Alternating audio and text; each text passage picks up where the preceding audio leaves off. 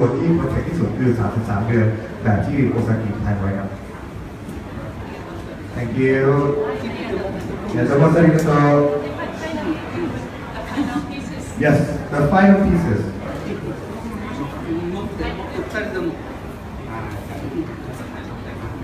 อ่ะ picture picture ใช่ใช่ใช่ใช่ The, now the uh, Numamoto said the final piece of this special seven kind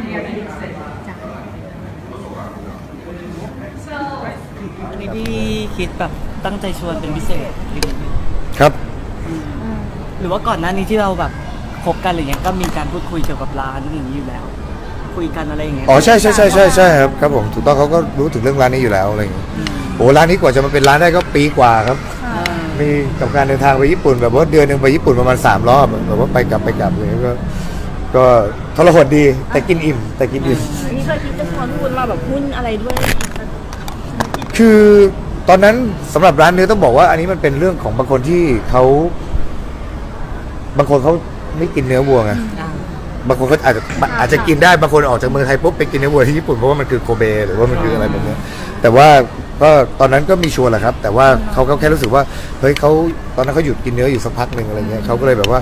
อืมไม่อยากเลยความเชื่อของเขาเนาะอะไรเงี้ยครับผมแต่วันนี้คุณจับตามองเป็นพิเศษตั้งแต่พอมีข่าวไปก็จะไม่เห็นโอกาสแบบ พี่คิดกับพี่วุ้นจะได้มาเจอกันเจอกันเท่าไหร่เออใช่ก็ทุกคนทำงานเขาเองก็ทำงานเยอะอะไรเงี้ยครับแต่มันก็ปกติไม่มีอะไร ที่ผ่านมาไม่ได้มีโอกาสแบบว่าไปเจอกินข้าวเห็นวุ้นเคยบอกว่าแบบมีก็มีเคยนัดกันแบบจะไปกินใช่ข้าวใช่จะนัดแล้วก็จะเจอใช่แบบว่ามีตอนที่ต้นปีเออ เอ่อปลายมกรามันก็มีนัดกันอะไรเงี้ยแต่ว่า เจอกันเนี่ยพอกลับมาพอดีแม่ผมก็เกิดอุบัติเหตุนิดนึงก็เป็นลำไส้อะไรเงี้ยก็ admit เข้าโรงพยาบาลไปผมก็ต้อง ขออนุญาตไปดูแลแม่ก่อนใช่มันก็เลยแบบพลาดไป ก็วันนี้แหละครับ ก็น้องเขามาให้กำลังใจก็ดีใจอืมแสดงว่ายังไม่มีโอกาสแบบนัดกันแบบจริงๆจังแล้วไปกินข้าวจ้ะด้วยกันยัง อย่างแต่พี่เก่งเลยแบบว่าคนจับตามองเกี่ยวกับเรื่องความสัมพันธ์ในฐานะเพื่อนเราจริงๆไม่เกรงนะ happy ดีทุกอย่าง พวกคุณน่ะทำให้ผมเก่ง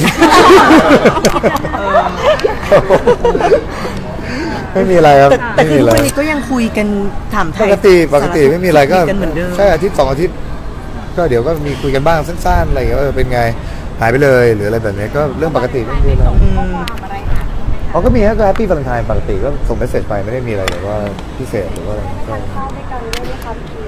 ยังครับยังครับยังเออมีทรงมีเซลเขาไหม่แบบว่ามีคนใหม่อะไรอย่างงี้มีไหมไม่มีแบบเซลล์ เออมีคุยไหมคะว่าแบบ โถข่าวผมก็เยอะ เราก็เข้าใจเขานะก็ไม่มีอะไรทุกคนบริสุทธิ์ใจแล้วทุกคนก็พี่เป็นพี่เป็นน้องหมด ผมต้องพูดแบบนี้เนาะเพราะว่าเราเองก็ไม่ใช่หน้าที่ต้องไปบอกเฮ้ยใช่หรือไม่ใช่หรืออะไรแบบนี้คือน่ารักกันหมดทุกคนไม่ว่าจะใครก็แล้วแต่ที่พวกคุณหมายถึงเราไม่เอ่ยชื่อดีกว่าแต่ว่าก็มันเป็นน้องอะ เราก็ไม่ได้อะไรมันทั้งเพื่อนทั้งน้องทุกอย่างเราก็ไม่ได้คิดอะไรอยู่แล้วเพราะสุดท้ายไม่ว่าจะยังไงมันก็เราเข้าใจกันแล้วมันเป็นสิ่งที่ดีที่สุดซึ่งมันไม่ได้เป็น ผมไม่ได้เกี่ยวอะไรกับใครในสามร้อยหกสิบองศาในชีวิตเราแต่ผมกับเขาเข้าใจกันแค่นั้นมันพอแล้วอืสำมหรับค่ะตัวอย่างเขาช่วงที่วุ้นมีข่าวกับหนุ่มๆอย่างเงี้ยเรามีแซวไหมว่าแบบว่าเอ้ยจริงหรือเปล่าถามไม่เขาผมหรืออะไรไม่ใช่เป็นคนแบบนั้นนะครับ มันก็เป็นเรื่องของเขาเนาะซึ่งเราเห็นใจเขามากกว่า ที่เขาบางทีต้องมานั่งเครียดเพราะว่าเราเองก็เจอเหมือนกันอะไรเงี้ยซึ่งให้มันก็กำลัไม่งใช่เรื่องมันก็ไม่ใช่เรื่องใหม่ๆเนาะมันก็เป็นเรื่องที่แบบว่าทุกคนคงสงสัยว่าเอ๊ะจะคิดคบใครจะคิดอ่า มีใครหรือเปล่าหรืออะไรอย่างเงี้ยคือให้กำลังใจกันมากกว่าฮะผมหลอกขึ้นไหมล่ะเออคือให้กำลังใจกันมากกว่าไหมคะหรือว่าตลอดครับตลอดตลอดก็สู้ๆอะไรอย่างเงี้ยครับ แล้วตัวพี่คิดเองแบบเหงาไหมครับ กับความรู้สึกสถานะที่มันเป็นไปเอาเวลาไหนไม่เหงาเออก็คือทำแต่งานใช่ไหมครับไม่น่าจะเหงาครับ ถ้าเกิดมีใครเข้ามาตอนนี้ถามตัวเองถ้ามีใครเข้ามา จะดูแลเขายังไงวะ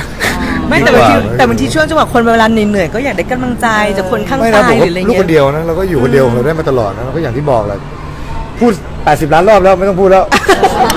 สรุปตอนนี้ก็ยังโสดอยู่เนาะครับผมอยู่ยังโซนยังอยู่ยังครับยังยังไม่มีเวลาดูแลใครยังไม่จีบยัใครงยังก็ถ้ามีคนเข้ามาก็รู้กันอยู่ว่า20 ปีที่ทำงานอยู่ก็เออ ถ้าเกิดผมมีใครผมก็บอกว่ามี ถ้าไม่มีก็คือไม่มีก็แค่นั้นเอง ก็ไม่ได้ไม่ได้แบบไปนั่งแบบว่าคอยวิ่งหา มันก็ถ้าเข้ามาถ้าเกิดแบบว่าเออเฮ้ยอยาก จะศึกษากันหรือว่าอะไรเงี้ยมันก็ไม่ผิดเนี่ยเราก็ไม่ได้ทำอะไรผิดนะทุกอย่างมันก็เรียบร้อยแล้วอะไรเงี้ยแต่ว่าตอนนี้ก็ขอเอาตรงตรงนี้ให้รอดก่อนเถอะเหนื่อยแล้วเกินปีที่แล้วนี่หนึ่งปีผ่านไปอย่างรวดเร็วเออพอวันที่24มกราครบรอบหนึ่งปีที่คุณแม่ล้มกับ28กุมภาที่ครบรอบผมบวชมานั่งคิดกูไปไหนมาวะเนี่ยหนึ่งปีคือแบบเรื่องราวมากมายแล้วแบบเออมีแต่เรื่องที่แบบเราจะต้องจัดแจงจัดการกับชีวิตเนาะ แต่ว่ามาปีนี้ก็ถึงเวลาที่ลุยต่อแล้ว ก็ก็ทำให้มันเสถียรแล้วก็มั่นคงครับครับถามถึงคุณแม่ที่บอกว่าเกิดอุบัติเหตุตอนนี้เป็นยังไงบ้างครับอืมดีขึ้นเยอะมากครับ ต้องบอกว่าปฏิหารย์เลย จริง ๆ แล้วก็แม่ก็สู้ อืมเราก็ในระยะเวลาปีหนึ่งนะ กับอ่าหญิงคนหนึ่งที่อายุ 73 แล้ว กลับมาได้ขนาดนี้ที่ที่ไม่ได้อยากอยู่เลยตั้งแต่แรกแล้วเป็นโรคที่เขากลัวที่สุดเพราะมันเป็นเรื่องของกรรมพันธุ์เลยเขาทำให้เราขนาดนี้คือบอกแม่ตลอดบอกว่าขนาดแม่ป่วยขนาดนี้คือ แทนที่เราจะเป็นคนที่ไปให้ความอบอุ่นไปให้กำลังใจเขาคือเขาต้องหากที่ทั้งทั้งที่เขาป่วยก็ยังทำให้เราเห็นเลยว่าเขาสู้ขนาดไหนเออมันเป็นสิ่งที่ มันยากที่จะเข้าใจนะแต่คนที่อาจจะอยู่ใน situation ผมหรือแบบว่าอะไรคล้ายๆกันเขาน่าจะเข้าใจแต่ว่าจะให้เป็น อธิบายมันก็คงลำบากตอนนิดนี้นึง คือไม่มีอะไรน่าเป็นห่วงเลยใช่ไหมครับคุณแม่ มันก็น่าเป็นห่วงอยู่ตลอดแหละครับ อ๋อเพราะว่าเขาก็เป็นแม่เรานะจะบอกไม่เป็นค่ะ ห่วงมันเป็นไปไม่ได้ แต่ว่าอืมเราก็